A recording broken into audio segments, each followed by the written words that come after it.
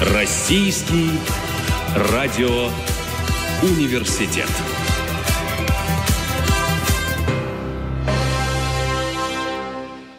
Здравствуйте, уважаемые радиослушатели. Это Российский радиоуниверситет, студия Дмитрий Кананыхин. Сегодня мы отправляемся в первую половину XIX века, век блестящей дипломатии.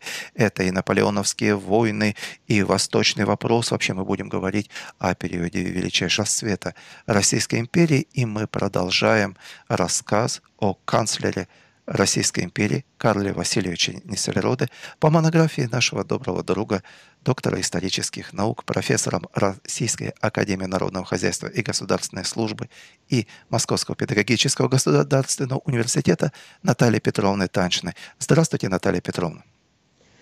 Здравствуйте, Дмитрий. Здравствуйте, дорогие радиослушатели. Наталья Петровна, свою книгу, которая только что вышла, вы назвали Карл Васильевич Нессельроде «Искусство быть дипломатом». А в первой беседе мы говорили о том, что современники очень жестко относились к нему. А фактически вы представили как будто целый суд над ним. И и современников, и историков современных, в том числе историков, фигура Карла Васильевича Нессельроде в общественном сознании весьма неоднозначна. И, но давайте разберемся с самого начала, а, кем он был – из какой семьи, когда родился, из какого рода, откуда он взялся? Такой Карл Васильевич Неслероде, рекордсмен по пребыванию на государственной службе и э, дипломатической службе Российской империи. Э, спасибо большое, Дмитрий. И вы верно вот заметили э, о непопулярности графа Нессельроде – и в исторической памяти, и в сознании современников. И очень часто действительно приходится слушать, слышать такие выражения, что ну вот посмотри, он же э, всеми оценивался крайне негативно. Ну, во-первых, далеко не всеми, и свидетельства есть самые э, разнообразные, и много очень и очень позитивных, и Карл Васильевич этого действительно достоин. А с другой стороны, действительно, в истории есть много людей, о которых остались какие-то негативные мнения. Вот мы с вами говорили о княгине Левин или о Франсуа Гизо. То есть, если почитать, что говорили говорили современники, то это сплошь какой-то негатив. Ну, мы уже опять-таки говорили, золотое правило историка, никому нельзя верить безоговорочно. Поэтому все надо проверять и перепроверять. И вот история Карла Васильевича, она как раз вот именно э, такая же.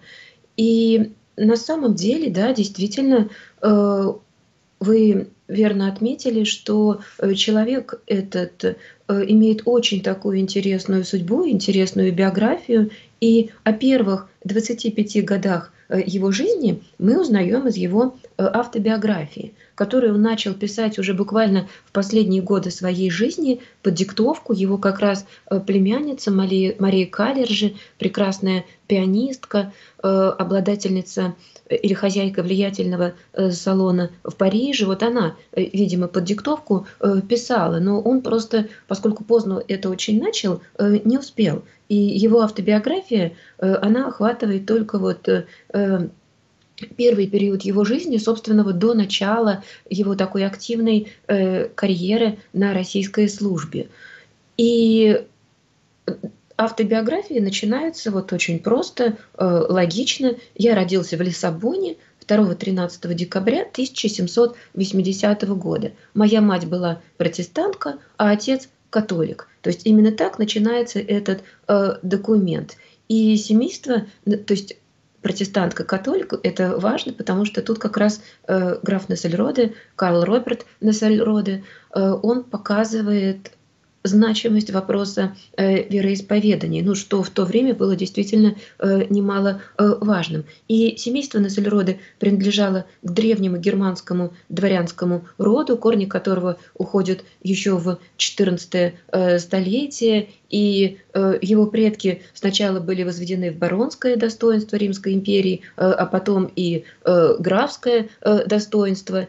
И если ближе уже к Карлу Роберту, как его звали, то его отец, тайный советник, граф Максимилиан э, Юлий Вильгельм Карл Нессельроде, э, он был младшим сыном в семье, и, как писал Карл Васильевич, по тогдашнему обычаю младших в роде искал счастье везде и понемногу. И он действительно менял гражданство или подданство э, правильнее, э, пять раз он служил дипломатом в Австрии, в Голландии, э, во Франции, э, потом оказался в Берлине э, для устройства, как пишет сын, э, своих домашних дел, и вот там он имел э, такой случай э, быть представленным и стать известным королю э, Фридриху э, Великому. И вот в Берлине он как раз и долгое время оставался на протяжении шести лет, причем не занимал никакой должности, но он был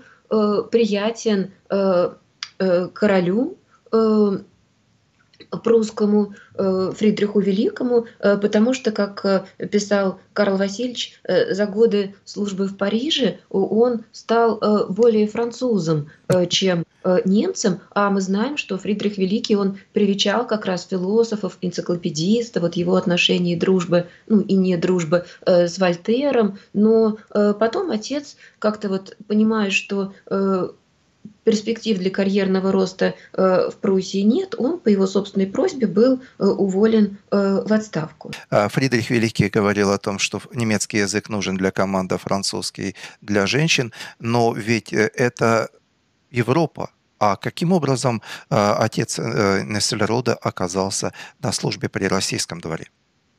Да, это как раз произошло именно в Берлине. То есть, когда Э, Вильгельм находился в Берлине, вот там произошло событие, которое было важно не только для него, но и для его будущего э, сына, потому что там, в Берлине, Вильгельм Нессельроде познакомился с князем э, Григорием Орловым, фаворитом императрицы Екатерины II. И Россия, как известно, с петровских времен активно привлекала иностранцев дипломатов, в том числе европейских, на э, российскую службу. И вот как раз э, от имени императрицы Орлов предложил Вильгельму вступить на русскую службу по дипломатическому ведомству. И тот э, охотно принял это предложение, и, вероятно, это произошло в 1778 году, и императрица пожаловала Вильгельма в камергеры, и спустя некоторое время он как раз получил назначение на э, только что учрежденное место посланника э, в Лиссабоне. И спустя год,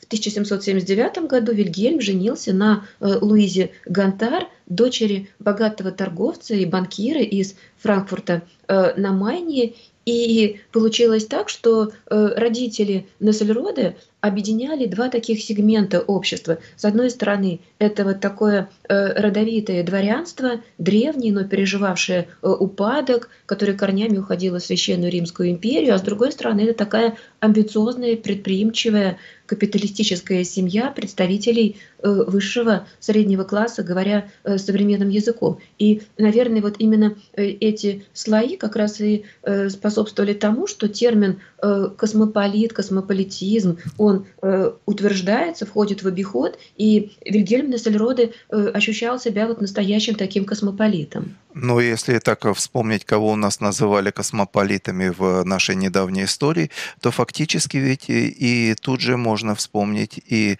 э, обвинение, которое мы говорили, князь Петр Владимирович Долгоруков, который считал себя э, таким знатоком, и его считали знатоком аристократических э, родов, он же фактически выдвинул убийственное обвинение не просто в космополитизме, а в еврействе э, Нессельрода, и ему потом очень сильно за это прилетало. И по э, Петру Владимировичу поверили. Вы в своей презентации, которая состоялась в исторической библиотеке, презентации своей монографии, вы сказали о том, что ведь фактически это единственный источник э, вот такого э, обвинения, но ему все поверили. Вообще, насколько э, можно верить э, Павлу Петру Владимировичу и насколько действительно, вот что вам удалось разузнать насчет еврейства канцлера Неслерода? Ну, э, понятно, что это будь то еврейство, будь то немецкое происхождение, это один из пунктов э, обвинения, особенно как раз вот в конце XIX века, в эпоху роста национализма, вот таких вот националистических тенденций в обществе. И э, Карлу Васильевичу как раз э, предъявляли именно вот эти обвинения. Именно то, что он родился немцем, это и было главной ошибкой его жизни, не просто ошибкой, а э, буквально предательством. А Родился когда... немцем по ошибке. Да, да, когда к этому добавляется еще и вот этот тезис о так называемом еврействе э, Нассельроды, то это просто получается такая вот э, гремучая э, смесь, и ясно, что ничего хорошего от такого человека ждать не приходится, он только и делал, что вредил интересам России. Вот именно так все это и э, преподносилось. Причем на самом деле вы верно сказали, что вот этот тезис о еврействе выдвинул князь Петр Владимирович Долгоруков, которого считали вот таким вот э, крупным специалистом по э, российской э, аристократии. Он как раз ведь и написал российскую родословную э, книгу. И вот именно из этой книги тезис э, о еврействе, так называемом Нассельроде, перекочевал в многочисленные работы э, о нем. Вот и так и повелось, что мать Нассельроде э, еврейка, которая приняла протестантизм, ну или просто еврейка. Ну и, допустим, некоторые исследователи, которые не согласны вот с этим утверждением, они даже говорят, что поскольку, или может быть, не то, что не согласны, наоборот, они говорят, что поскольку Нассельроде, находясь вот на вершине государственной службы, пользуясь такими широкими полномочиями, привилегиями, э, вот в ту пору никаких опровержений этому не дал, значит, видимо, э, так оно и, и было. Но вот э, мне это кажется совсем неубедительным, потому что ведь Карл Васильевич Нассельроде на протяжении своей долгой карьеры вот на все многочисленные выпады какие-то и откровенные издевательства в свой адрес, причем как со стороны соотечественников, так и со стороны иностранцев, он не считал целесообразным отвечать. И это, мне кажется, только свидетельствует о вот его выдержке, о его силе характера и о э, хладнокровии. Но вот так называемое еврейство, оно э, дало пищу для множества спекуляций. Но между тем, вот князь Петр Владимирович Долгоруков, он же просто констатирует этот факт, но никаких доказательств, никаких подтверждений не приводит. Вот, ну, вот это очень, я прошу прощения, очень важный момент, потому что э, для всех, для всей вот этой конструкции обвинительной, ведь э, немецкая генеалогия, вот гене, э, люди, которые занимаются родословиями, они очень пунктуальны, и до сих пор сохранились выписки из э, э всех церквей, храмов, все крестильные, правильные. То есть генеалогия там прослеживается в 15-16 век легко. И, в принципе, можно проверить обвинение Петра, Петра Владимировича Несельроды э, в этом. Э, что вам удалось обнаружить? Вообще, э, из какого рода была мать Несельроды? Ну вот, как я сказала, что это это вообще протестантская семья. Это протестантская семья, которая была родом из Гренобля, и вот предок Луизы Гонтар после отмены Нанского эдикта, э, Ананский эдикт, как мы помним, он предоставлял э, права, привилегии французским гугенотам, протестантам, а король э, Людовик XIV в 1685 году эдиктом Фонтенбло отменяет Нанский эдикт, и гугеноты были вынуждены э, эмигрировать, и очень многие из них устремились э, в германские земли, где как раз содействовали уже э, германскому капитализму, ну или в Швейцарию, в другие земли, в Россию в том числе. Допустим, Карл Брюлов, да, это же то же самое семья вот протестантов, которые сначала в Германию, потом в Россию эмигрировали. И при этом Брюлова все считают совершенно русским да, э, художником, ну, как и его э, брата. И вот как раз семья э, из Гренобля перебралась во Франкфурт, где вместе с савойскими женевскими торговцами была основана фирма по продаже английского текстиля, и потом семья занималась банковским делом, но при этом продолжала вот как раз э, твердо придерживаться протестантской веры. И в частности, допустим, в немецком э, биографическом справочнике э, 1964 года вот содержится именно такая информация, и никакой э, другой информации о какой-то э, принадлежности э, нет. Но вот между тем Долгоруков вот так просто это голословно заявил, и все, и так и повелось, и потом вот уже из работы в работу, и это вот просто повторяется вот как какая-то догма. Видимо, для Карла Васильевича вот это было очень важно, потому что ведь он сразу подчеркнул, что отец католик, мать протестантка, и получается, что ребенок Карл Роберт Нессельроде, он был крещен по протестантскому обряду.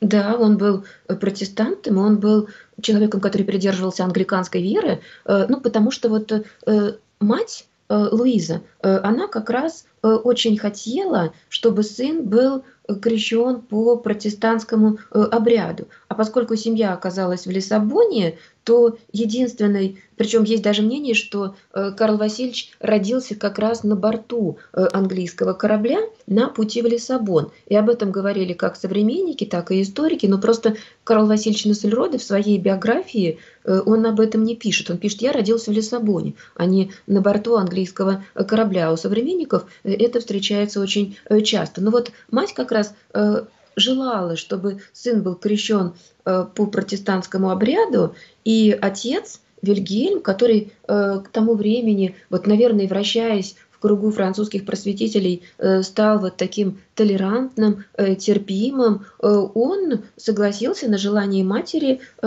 Карла Нассельроде, и в Лиссабоне единственной протестантской церковью оказалась домашняя церковь английского посольства, и вот, собственно, там и э, свершилось крещение э, Карла Васильевича, и он стал э, протестантом англиканской вот такой ветви. И вот то, что он сохранил э, свою приверженность англиканской вере до конца своей жизни, э, а он будет похоронен как раз на Смоленском кладбище, он э, исправно э, на Пасху будет посещать как раз э, часовню британского посольства в Петербурге. Вот все это тоже дало почву для многочисленных э, пересудов, потому что ну, современники как-то не могли понять, что ну, неспроста это, что-то здесь просто вот не так, что э, жена э, православная, дети православные, а вот он э, почему-то так верно сохраняет э, преданность э, своей э, вере. То а вот здесь, этом... Наталья Петровна, я э, прошу прощения, но может быть это связано и для него, для э, Карла Роберта Нессельрода было еще и память о матери, которая рано умерла, ему было 6 лет, и фактически получается, что его воспитывал отец. Вообще, что можно сказать э, вот о его воспитании, а э, какую роль в развитии в э, Карла Нессельрода сыграл его отец? Да, действительно, мать умерла, когда мальчику было 6 лет, и так получилось, что он э, оказался единственным ребенком семьи. И я с вами согласна, что, возможно, вот такое сохранение преданности англиканству – это вот дань памяти, уважения, э, любви э, к своей э, матери. И э, отец э, очень тяжело переживал смерть супруги, он стал ходатайствовать э, об отставке, ему тогда было под 60 лет, и э, он сильно страдал э, подагрою, и он решил удалиться от дела. Кстати, подагрой будет страдать и Карл Васильевич на протяжении вот своей жизни, причем он был очень здоровым человеком, ничем серьезным никогда не болел, но вот подагра иногда заставляла оставаться его дома. И вот как раз Вильгельм Нассельроде получает увольнение и отправляется э, в Петербург, но, правда, его надеждам на спокойную жизнь не удалось, не, был, не было суждено э, сбыться, потому что э, в Петербурге его ожидало новое важное предложение, а именно должность посланника в Берлине э, вместо отозванного графа Сергея Румянцева, и э, Вильгельм Нассельроде э, вот как не мечтал об отставке, но вот он не э, смог отказаться от такой вот важной должности, и это свидетельствовало о доверии со стороны э, императрицы. И э, более того, в Берлине на него возлагалась важная миссия содействовать перетягиванию Пруссию на сторону э, России, вот от такого э, английского э, альянса. И пока э, отец был в России, ну и вообще занимался дипломатическими делами, э, сын э, остался во Франкфурте на попечении тетушек по материнской линии, ну или точнее одной из тетушек по материнской э, линии, но отец э, о сыне не забывал, и по тогдашней традиции он был э, записан или приписан в российский флот и помещен на учебу престижную берлинскую э, гимназию. И, э, как писал Карл Васильевич в своей автобиографии, вот э, такое э, обучение, э, оно вряд ли, конечно, может быть, подходило для того, чтобы стать морским офицером, но э, судьба готовила ему другую карьеру, и вот такое именно образование оказалось очень кстати.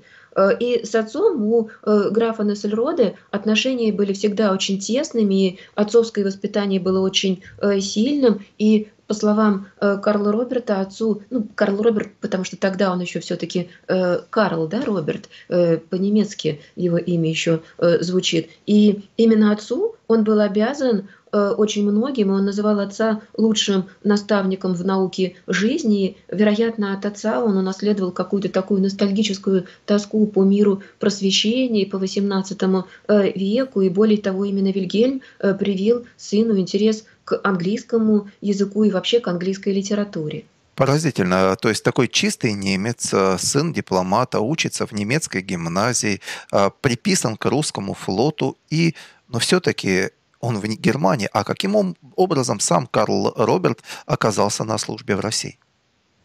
Э, это произошло в 1796 году, буквально за несколько месяцев до смерти э, императрицы э, Екатерины II, Екатерины Великой. Карлу тогда было 16 лет, и вот как раз отец решает, что настало время отправить его в Россию для, как записано в автобиографии для начатия службы. Но это, понятно, русский перевод XIX века, потому что записки изначальная автобиография была написана по-французски. Э, и вот как раз Екатерина определила молодого человека э, во флот, и в сентябре того же 96 -го года э, он оказался в Кронштадте, где располагалось второе отделение морского кадетского корпуса. В ноябре Екатерины уже не стало, и Павел I, э, вступивший на престол, э, он э, оказывал покровительство отцу Нессельроде, и, став императором, он пожаловал Карла во флигель адъютанты по флоту и допустил дежурить при своей особе. И вот однажды якобы вот государь спросил, имеет ли Карл охоту к морской службе, и тот ответил, что он еще не имел возможности приохотиться, ну и тогда государь предложил ему перейти в сухопутные войска. И в декабре 1997 года э, будущий канцлер стал э, поручиком в лейб-гвардии конном полку с сохранением своего э, места флигель-адъютанта. Ну и даже он сопровождал весной 1998 года Павла на коронацию в Москву. Фактически э, со стороны так смотришь бурная карьера, но э, вы, э, когда в первой беседе мы говорили о том, что сколько было предъявлено канцлеру Несельрода вот таких обвинений от современников, очень много говорилось о том, что как можно столько лет, полвека на, или 60 лет на государственной службе, полвека, будучи руководителем дипломатии, так он русского языка-то не знал. Немчура, немчура поганая, как же он рус, по-русски-то не говорил? можно ли понять на самом деле, вот неужели он за э, свою жизнь и будучи э, и флигель-адъютантом, и в лейб-гвардии служа, э, не, не удосужился выучить русский язык? Ну, на самом деле, да, вот век, опять-таки, обостренного восприятия своей национальной принадлежности и идентичности, вот это вот обвинение, оно было очень Э, часто в незнании русского языка, хотя опять-таки мы знаем, русская аристократия, российская аристократия очень часто своим родным языком считала французский, да, и только потом э, училась говорить по-русски. Возьмите случай того же Пушкина или князя Вяземского, то есть это было вполне распространенным э, явлением. Но Насельрода буквально действительно упрекали в том, что он не знал русский язык, хотя даже если допустить, что он не знал русского языка, Э, французский тогда это язык э, дипломатии, это язык международного э, общения, и важно было знать именно прежде всего французский язык, тем более, что и государи, и императоры, они общались тоже на французском языке э, свободно. Но вот что касается знаний или незнаний, то э, по-разному историки э, оценивают вот, степень знания языка, и мы можем обращаться к сведениям современников или историков, а они весьма разнятся. Но вот, допустим, французский исследователь русского происхождения Константин Грюнвальд еще вот в первой половине прошлого столетия он как раз написал книгу «Три века российской дипломатии». И вот он полагал, что по прибытии в Россию э, Карл Нессельроде имел смутные представления не только о русском языке, ну, что естественно, да, ему не доводилось еще бывать в России, и э, в Берлине он не учил русский язык, но и французский, э, как бы он не очень еще э, уверенно э, знал. Но французский язык он освоил э, весьма э, быстро, и хорошо, а вот с русским, э, особенно устным, у него э, были э, некоторые проблемы до конца жизни. Но, как тот же Константин Гуренвальд отмечает, у Нессельроде, который рано поступил на службу, просто не было времени для того, чтобы выучиться. А вот такого какого-то изначально серьезного, солидного образования, там, домашнего, да, у него же не было, только вот гимназия. Что касается современников, то они оценивали по-разному знание э, русского языка. Вот, допустим, барон, а потом граф Модест Андреевич Корф, это известный российский э, государственный общественный деятель, вот он как раз э, говорил, что вследствие малой привычки публично говорить по-русски, Нессельроде даже в 40-х годах изъяснялся на нем не без труда. Ну, потому что, опять-таки, на самом деле, ведь тот круг общения, э, его ближние, и не только круг общения, это все люди, которые э, говорили в основном по-французски, да, или по-немецки, поэтому ему действительно просто не было э, особой нужды говорить по-русски. Хотя вот в дипломатическом ведомстве у него Понятно, что это требование знаний прежде всего иностранных языков, но у него э, специально были и люди, которые вот э, именно русским языком владели э, в совершенстве, именно русские люди. Но свидетельства, опять-таки, современников были неоднозначными. И, допустим, вот другой современник, это известный историк Николай Герасимович Устрялов, он в 1946 году собирал как раз материалы для своего исторического исследования – посвященного Петровской эпохе. И э, вот он общался с Нассельроде как раз по поводу э, документов и нанес ему визит и вспоминал, что Нассельроде принял его в своем кабинете, э, посадил э, подле себя на диване и дол- долго разговаривал по-русски, чисто, правильно, но только с немецким акцентом. То есть э, вот не думаю, что э, вот оба же эти свидетельства, они как раз э, показывают, что Нассельроде э, прекрасно владел русским языком. Другое дело, что вот может быть, да, э, акцент у него какой-то и э, сохранялся. Но еще раз подчеркну, что случай Нассельрода не э, уникален и не удивителен. Э, император Николай I, такой самый национальный, да, самый русский из государей, как его называли, э, он же тоже э, женой говорил с Александрой Федоровной, императрицей, говорил по-немецки, э, писал часто по-французски. Или, допустим,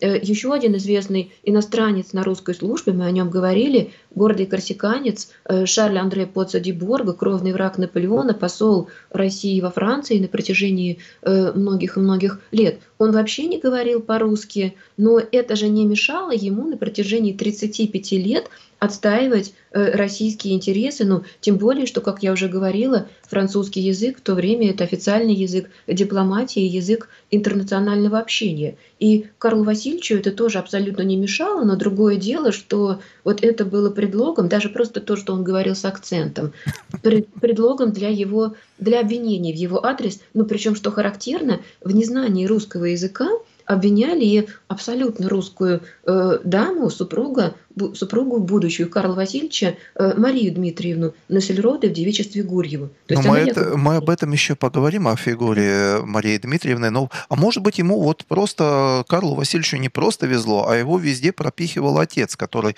был в фаворе у э, императрицы Екатерины Великой, у Павла I, у э, Александра э, первого. Получается, что, а как, может быть, всесильный отец помогал, а вообще как обстояла в это время э, ситуация с жизнью его отца, с карьерой отца? Ну, отец, конечно, вот, ну, мы об этом, я еще, думаю, поговорим, вот да. об этой фортуне, о везении, да, или о протекции, в чем его будут обвинять. Но э, Нассельро Отец, Вильгельм Нессельроде, он еще в 1795 году попросил у императрицы э, чистую отставку, которую получил, равно как и 2000 рублей э, пенсии. Потом Павел э, пожаловал ему Александровскую ленту, предоставил в 12-летнее пользование мызу Нейгут в Курляндии, уговаривал поселиться в России, но Вильгельм, вот действительно такой космополит, он в России провел только очень недолгое время, год, и в 1798 году уезжает во Франкфурт, где оставался до конца своих дней, и умер он э, в феврале 1810 года. То есть, собственно, э, вся дальнейшая э, биография Карла Васильевича, она уже проходила без вот какого-то непосредственного присутствия его отца. И с отцом он встречался, ну, когда выполнял какие-то миссии в Европе, а он э, будет в очень скором времени как раз вот вовлечен э, вот в эти европейские события, и тем более время в Европе было тогда очень неспокойно. В 1789 году начинается э, французская революция. Э, получается, что это уже время и сначала революционных войн, потом и антинаполеоновских войн. И получается, что Карлу Васильевичу пришлось э, участвовать в войнах? Ну, точнее, знаете, как он хотел. Э, вот его же упрекают, даже вот, если помните, когда была презентация моей книги, один из участников, он сказал, что вот у него же все ордена, да, не военные, и он вот не саблей размахивал. У него действительно получилось так, что другая биография, по-другому э, жизнь э, сложилась. Но изначально он как раз э, хотел принять участие в военных действиях, потому что образована вторая э, антифранцузская э, коалиция, и более того, Карл э, направляется к месту назначения, но едва он достиг Киева, как получил приказ Павла Э, немедленно э, вернуться. И вот тогда как раз его вот эта военная карьера, собственно, э, не то чтобы окончилась, но посражаться ему не удалось, и он об этом писал потом с сожалением, что вот он не смог принять участие в итальянской кампании, которая обесмертила имя э, Суворова. И по возвращении Павел ему Э, якобы вот сказал, ну, по словам самого Карла Васильевича, что если э, не хочешь служить по мне, то при мне, то отправляйся в полк, и э, на этом кончается флигель адъютанства будущего канцлера, и он оказался в конной гвардии под начальством князя Бориса Голицына. Но ну, это такое общество избранной молодежи, люди первых фамилий петербургских, ну, говоря современным языком, такие э, петербургские э, львы. И, может быть, этим полк заслужил немилостью государя, и несмотря на то, что э, Нассельроде был как раз э, в декабре 1799 года произведен в э, полковнике, но уже тогда император Павел, вот после очередного неудовольствия полком, э, назначает вместо князя Голицына нового командира, великого князя Константина Павловича, а э, сами гвардейцы были высланы из столицы в Царское село. И э, Карл э, попадает в такую общую немилость, но однако был уволен с пожалованием в камергеры, и вот, по его словам, не без такого живого сожаления э, оставляет оставляет военную службу. Получается, его обвиняли в том, что он в молодости вел праздную жизнь, а в своих письмах он все время сожалел, что не смог сделать военную карьеру. Это удивительно просто, как проявляется э, внешняя и внутренняя жизнь человека. Но ведь потом он становится дипломатом. Он становится по протекции. Его пристроил отец. Ведь, по идее, то отец должен был его пристроить как раз в дипломаты. А как произошло на самом деле? Ну, вот он действительно вот поначалу, как мы видим, вот испробовал действительно э, разные роды деятельности. Можно сказать, что он вот так вот э, плывет пока э, по течению жизни, хотя современники воспринимали путь будущего канцлера иначе, и по их мнению он целенаправленно и четко делал карьеру. И как раз вспоминали его мать Луизу, которая, допустим, как писал один современный писатель, научила отпрыска гонимого народа не только выживать при любых обстоятельствах, но и достигать успеха на любом поприще, шьешь ли ты сапоги на заказ или договор между странами. Но это при том, что Луиза умерла, когда мальчику было 6 лет. Да? 6 лет она ему говорила, сынок, лезь, пожалуйста, любыми путями на российскую службу, это он на российскую службу поступил в 16 лет. То есть 10 лет он помнил заветы матери пролезть да, на русскую да. службу и там вредить. И получается, что э, вот он так... Отец-то помог, отец-то должен был помочь по блату пристроить в дипломаты? Э, то есть его действительно упрекали в том, что вот он целенаправленно делал карьеру, ну или, допустим, великий князь э, Николай Михайлович в своих русских портретах, а это э, русское историческое общество, да, основатель, председатель русского исторического общества, вот великий князь Николай Михайлович писал, что вот э, карьеризм с юных лет определял всю его деятельность и как раз вот так как-то трактует э, весьма иронично вот слова самого Карла Васильевича, который писал, что он имел счастье э, любить всякую выпадавшую на его долю службу. То есть в этом, на мой взгляд, как раз и заключается э, успех э, любого, наверное, дела. И это может стать девизом э, любого э, человека, то есть любить все, что ты делаешь. Вот э, сейчас ты пишешь научную статью, и ты должен любить научную статью. Вот это дело свое.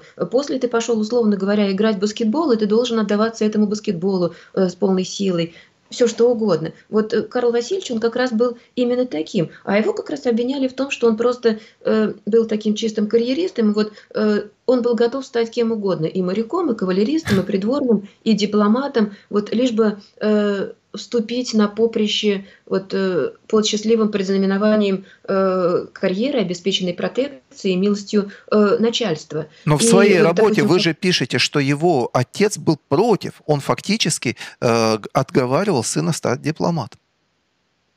Э, да, но до этого еще как бы эта карьера дипломатическая, она начнется только при э, Александре первым, э, пока что, вот, как пишет э, великий князь Николай Михайлович, он отдавался такому праздному безделью, когда вот костюмированные балы, спектакли едва давали ему вздохнуть, а тем более слушать лекции. То есть протекция, конечно, дело немаловажное, но вряд ли исключительно ею следует объяснять полувековую блестящую э, карьеру Карла Васильевича, тем более, что он служил вот столь разным императорам и у всех был на э, хорошем счету. Опять-таки, утверждение о том, что он вел такую праздную светскую жизнь, э, тоже не объективно, потому что э, Карл всегда стремился к активной деятельности и к знаниям, и вот как раз э, когда он э, стал придворным камергером в 1800 э, году и вынужден был предаваться бездействию,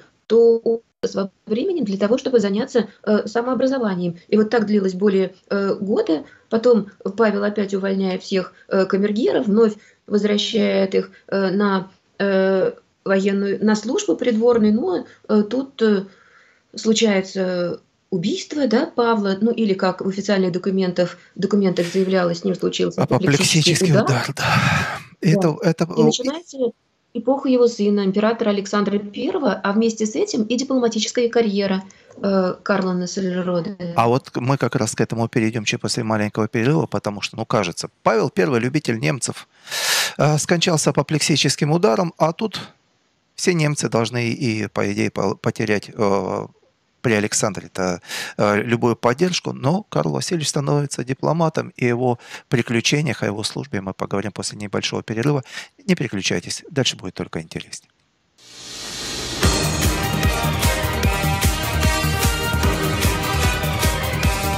Российский радио университет.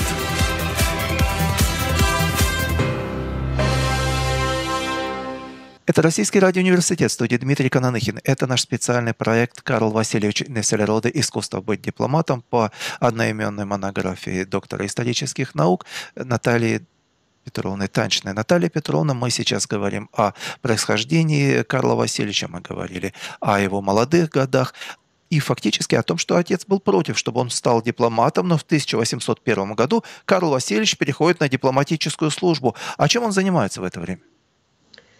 Да, он действительно связывал с эпохой Александра Большие Надежды, и э, как камергер для начала он был направлен к герцогу Вюртембергскому, брату императрицы, вдовствующей уже э, Марии Федоровны, для того, чтобы уведомить о вступлении на престол нового э, императора. Во Франкфурте он виделся с отцом, предавался размышлениям э, о будущем. И вот он как раз тогда решает стать дипломатом, и отец, вот как вы говорили, он на самом деле был поначалу против этого, ну, потому что, может быть, он сам вот на этом поприще получил больше терний, чем роз, или, как пишет Карл Васильевич в автобиографии, может быть, он тогда э, как-то имел некое недоверие к его дарованиям, которые тогда еще были э, мало развиты, и отец боялся ну, неудач, вот, э, которые сын может потерпеть в такой вот сложной, трудной отрасли общественной деятельности, как э, дипломатия.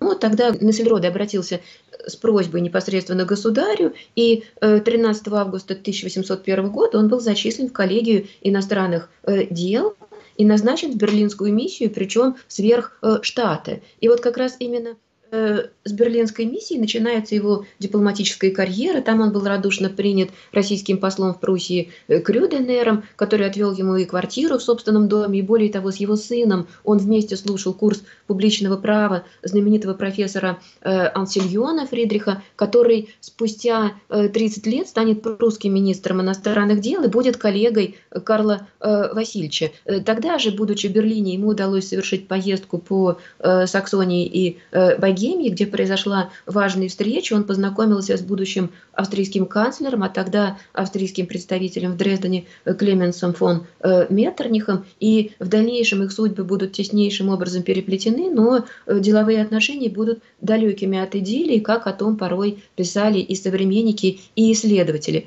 Э, спустя год, в 802 году, он был назначен секретарем русской миссии в Гааге, и вот здесь как раз, по словам Карла Васильевича, началась его такая самостоятельная э, карьера, потому что э, российский представитель граф э, Штекельберг э, долгое время э, отсутствовал э, на своем посту, и вот э, как писал Карл Васильевич, мне э, довелось летать на собственных э, крыльях. И в Петербурге нашли, что его можно э, употреблять в дело, а он как раз только этого э, и э, хотел. Но после того, как была образована третья антифранцузская коалиция в 1805 году, Петербург принял решение отозвать свое посольство из Гааги, хотя Нассельроде оставался там еще до весны 1806 года. Ему было поручено весьма такое деликатное дело. Он должен был заняться разведывательной деятельностью и наблюдать за всеми приготовлениями французской армии, которые готовились к так и не осуществившейся высадке в Англии. Ну и из Гааги он отправляется в Берлин, где ожидает нового назначения и попутно выполняет еще одно задание. Он объезжает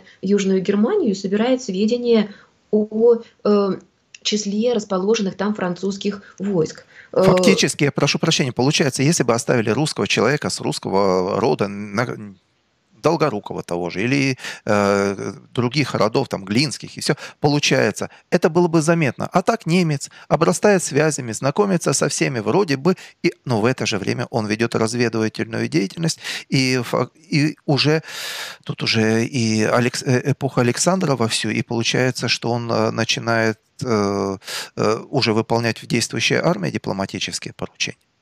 Сначала он сопровождает э, императора в Тильзите, и он как раз был свидетелем подписания э, Тильзитского мира, но правда, как он сам писал, что его деятельность ограничивалась тогда лишь вот переписыванием бумаг, но с другой стороны он э, очень многое видел. И после Тильзита как раз происходит смена руководства Министерства иностранных дел, потому что барон Будберг, который занимал пост министра с июня 806 года, он вышел в отставку, как и другие или многие, не одобряя Тильзитского мира, и Э, главой внешнеполитического ведомства становится граф Николай Румянцев, и вот как раз в это время э, Карл Нассельроде получает новое назначение, и в это время оформляется э, новое посольство в Париже. Послом был направлен граф Толстой, а советником посольства в конце августа 1807 года стал как раз Карл Нассельроде. И вот, собственно, вот это вот посольство в Париже и миссия советников в Париже, она как раз была очень важной для вот такого карьерного роста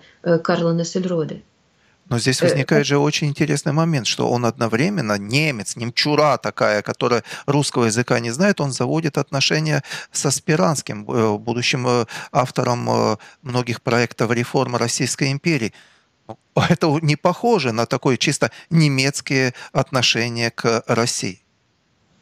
Ну, это же мы уже стереотипы. Зачем мы будем транслировать вот весь тот э, негатив и обвинений, которые просто именно нелогичны? Потому что на самом деле вот э, во всех этих обвинениях в адрес Нассельроды тут просто, на мой взгляд, отсутствует какая-то элементарная э, логика. Причем э, Нассельроды сопровождал императора Александра для переговоров с Наполеоном э, в Эрфурте, где была заключена э, между Россией и Францией союзной конвенции. И есть такое мнение, что Наполеон, который тогда увидел Нассельроды в Эрфурте, он я якобы заметил, что этот маленький человек, который однажды станет э, великим. И мне кажется, как раз вот э, Наполеон-то в этом э, плане был э, прав. Но, э, по словам самого Карла Васильевича, тогда он никакой, опять-таки, э, важной такой роли не играл, но вот именно в Эрфурте у него завяжутся дружеские отношения со Спиранским, и в своей биографии, он, автобиографии, он так и будет его называть задушевным другом. И более того, когда э, над Спиранским начнут сгущаться тучи, Нессельроде будет опасаться, что, под, что в опалу попадет и он. Но тем временем в посольстве российском в Париже произошли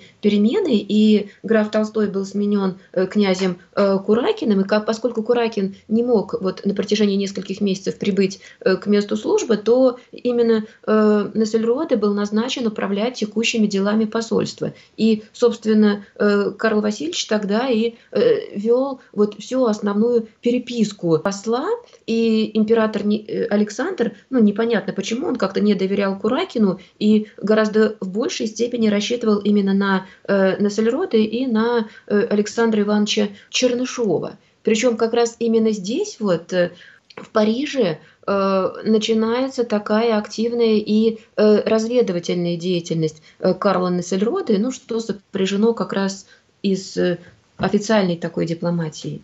А, и в то же время его замечают при Куракине. А, остроумные французы Куракина иногда там подшучивают, подсмеивают э, над ним.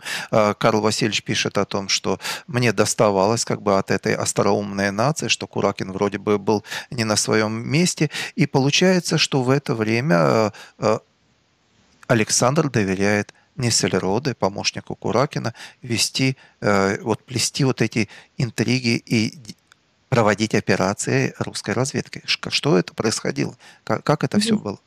Я бы сказала, что не интриги, это не интриги, это э, другая сторона официальной дипломатии, потому что есть дипломатия вот такая явная, да, есть э, разведка, э, в то время это одни и те же э, люди, э, как правило.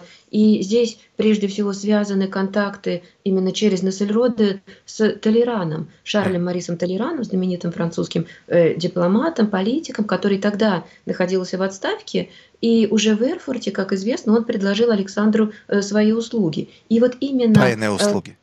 Да, графу Нессельроде э, Александр Первый получил поддерживать негласную связь э, с Толераном, и вот эта вот тайная экспедиция Нессельроды, э, в которой содержались показания э, Толерана, она направлялась непосредственно императору Александру Первому, иногда э, как раз графу Спиранскому, минуя Румянцева, потому что э, адрес Спиранского считался более таким э, безопасным. И в этой переписке Толеран, как известно, фигурировал под разными псевдонимами. Мой кузен Анри, Анна Ивановна, наш книгопродавец, э, Юрий юрисконсульт. И вот как раз э, Толерант порой выдавал э, на Сельроде э, важные сведения, допустим, там о браке э, Наполеона с австрийской э, принцессой, э, ну и многое э, другое. Ну, правда, Толерант попутно эту информацию сливал и австрийскому правительству, но э, Нессельроде тогда об этом не подозревал, равно как и сам император э, Наполеон. Причем вот очень интересно, если мы посмотрим, как э, академик Евгений Викторович Тарли писал о Толеране, да, у него же есть работа, посвященная Толерану, и вот как раз он писал о том, что Толеран отличался от дипломатов старой школы, он нисколько не походил на русского канцлера Карла Васильевича Нессельроде, который Гордость свою полагал в том, что был всю жизнь верным слугой и прислужником Николая I. Ну и современные исследователи тоже, приводя эту цитату, порой вот говорят о том, что Тарли был в этом абсолютно прав. То есть получается, что э, присягать 14 режимам, что делал Толеран, вот это замечательно, это здорово, э, а верно служить императору, э, вот это э, плохо. То есть, опять-таки, вот совершенно какой-то нелогичный упрек. Какая-то пристрастность. И в заключение, Наталья Петровна, у нас две минуты. А скажите, пожалуйста, удавалось ли Карлу Васильевичу передавать какие-то важные разведданные в Петербург? Да, на самом деле, как раз через известного дипломата, графа Строганова, ему удалось доставить в Петербург важную э, записку министра иностранных дел Франции, которая была адресована Наполеону. И этот документ имел большое значение для выяснения истинных позиций политики, истинных целей внешней политики Наполеона э, в отношении э, России. И э, в своей депеше Спиранскому э, от 5 сентября 810 года Нассельроде как раз после одной из встреч с Толераном э, предположил, что война против России не начнется до будущего года или даже до весны 1812 года. Но поскольку отношения между Россией и Францией обострялись, э, Нассельроде покидает Париж, и более того, э, Наполеон якобы в разговоре с князем Куракиным говорил, что вот э, вы хотите вести с нами дела, а единственный достойный человек и разумный человек оставляет вас, покидает посольство, и Наполеон хотел, чтобы э, Нессельроде вернулся в Париж. Но как раз в это время была раскрыта шпионская деятельность так называемой группы Мишеля – а в эту группу и был вовлечен и Александр Чернышов, и Карл Нассельроде. И более того, сведения об этом просочились в газеты во французские. И получилось так, что э, ну, Нассельроде просто не мог э, никаким образом э, вернуться в Париж. Но как раз вот в это время Нассельроде получает важное назначение. Он становится статс-секретарем при императоре э, Александре э, в октябре 811 года, то есть, по сути, он уже э, начинает исполнять обязанности министра иностранных дел, хотя формально на этой должности продолжал числиться граф Румянцев. Это ну, потрясающе. И... Вот, вот этот момент, фактически молодой человек с 16 лет на российской службе, он проходит и лейб-гвардию, и придворный, он постоянно занимается самообразованием, и вдруг он оказывается в эпицентре вот этой вихри и тайной, и и открытой дипломатии, и фактически ему император это все доверяет. Наталья Петровна, это какой-то фантастический рассказ. Я благодарю вас за эту беседу, а нашим зрителям, нашим радиослушателям, ну что могу пожелать? Вы можете еще послушать эти беседы на сайте Радио России, посмотреть на YouTube-канале Дмитрий Кананыхин, а вам желаю учить настоящую историю, не воспринимать мифологию, делать выводы самостоятельно, слушать настоящих историков. Будьте счастливы, всего самого наилучшего. До свидания. До свидания, спасибо.